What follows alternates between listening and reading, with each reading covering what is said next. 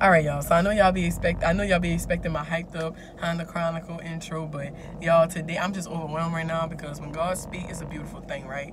So I'm reading my devotional, and immediately God revealed to me it was never His intention for us to expect an imitation of the events that took place in the Bible days to happen again, but it was for us to expect an, a duplication of the miracles.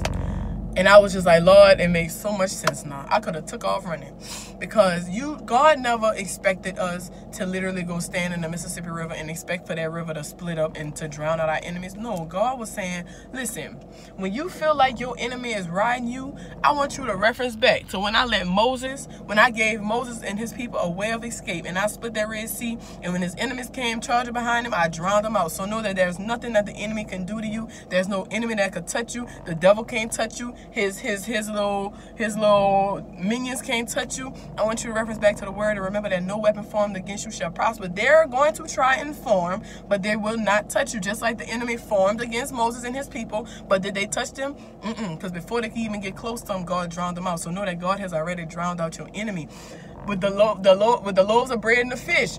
God not expecting us to literally go in Walmart and buy bread and sit it on the table and say, "Now, Lord, multiply." No, what God is saying is, guess what? Where do you feel like you lacking it? Where do you feel like it's just like you just feel like you in this dark place, you in this hole? God wants you to reference back to that that it's that moment right there and say, God, you the same God that provided for over for over a thousand people with five loaves of bread and two fish.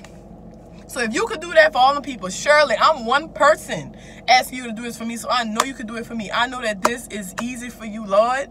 I didn't see God in my own life take little and turn it into much. And people coming to me like, boss, say that was, and I'm like, they just don't know, Lord. they just don't know. They don't know. You know what I'm saying? the man that was crippled for almost all his life. And Peter and John went and, and spoke to that man and saying, by the power of Christ Jesus of Nazareth, you're going to get up and walk.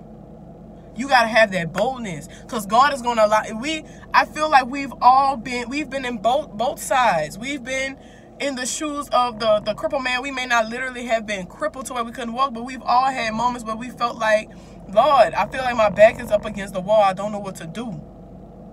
And he stepped in as always. I feel like we've been like Peter and John, where we had to be the ones to encourage people. Where we had to say, you know what, Lord, all right, now I'm about to tap into my faith. Lord, I need you to use me because guess what? This is for your glory. If you can do this for this person, I know it's going to change their life forever. We didn't been on both spectrums where we felt like our back was against the wall and we needed God to encourage us and where God used us to do and God used us to encourage others.